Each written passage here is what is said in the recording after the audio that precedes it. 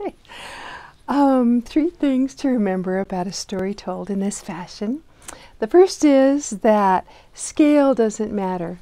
So here we have Mary, and she's living in this little tiny house um, with a donkey in the backyard that's not quite the right size either. So you just make things work. And notice that she has no face. So um, that's so you can imagine what Mary looks like. I bet you my Mary looks different from yours. I don't know. And then the last thing is that we invite the story with a song.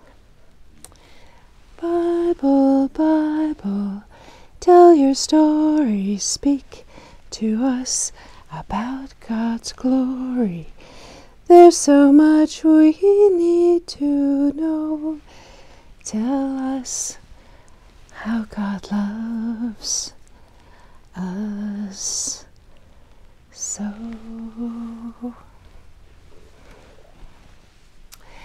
We have a little bit of a story and a little bit of readings. We have a mishmash today. Um, we have a psalm, and we have a gospel reading, and we have an epistle, and we have Mother's Day coming up. So, today, again, we're talking about Jesus. And Jesus tells us through Peter that we should build ourselves as though we were made of rocks, as though we were living stone, that we should be a spiritual house. And I wonder what your stones would be. I think the first stone that he learned was probably from his mother Mary and a gentle upbringing. And Joseph, too. Joseph is a wonderful character, a carpenter who accepts what God tells him, although it's very unusual. Mary and Joseph teach Jesus love. And I think the first the first stone that any of us should have in our spiritual home is love. We're going to uh, build a spiritual self.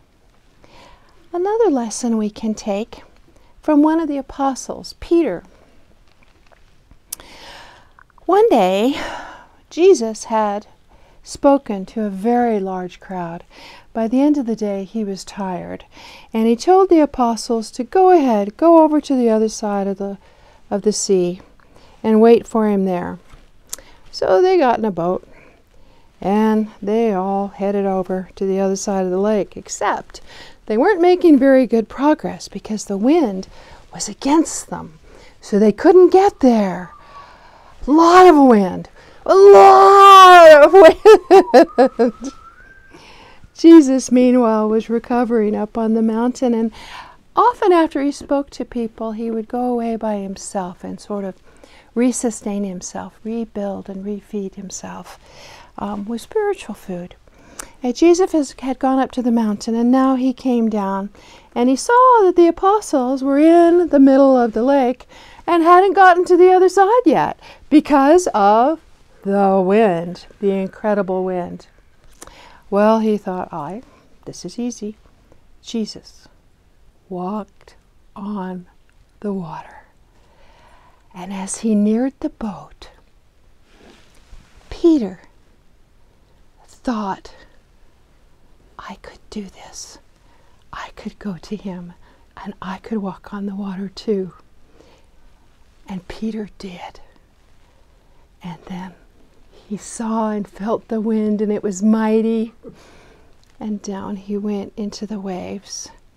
And Jesus lifted him up and helped get him to the boat where he'd be safe. And then they went to the other side. I hope they could swim a little bit. Our Peter is an interesting apostle. His name means stone or rock.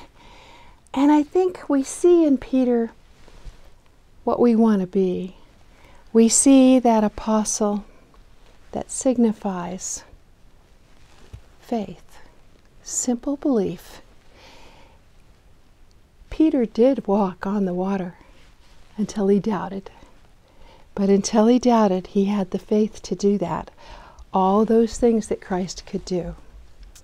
Before he died, Christ told Peter that Peter was the rock on which his church would be founded.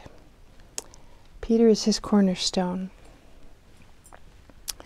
Not long before Christ died, he gathered his apostles and he told them that his Father had prepared for them a house, a house with many rooms, room for everyone. And he was talking about heaven. He was talking about the spiritual house that we all will go to. One of our one of our writers today tells us that the foundation, the rocks upon which that house are built, are important. So I wonder today if you had to name the rocks that make up you and your spiritual house and the rocks that make up heaven, what would the name of those rocks be? Would it be from Mary, love? Would it be from Peter, faith? How else do you build with rocks the soul of yourself that you'll take to heaven? Bible, Bible, tell your story. Speak to us about God's glory. There's so much we need to know. Tell us how God loves us so.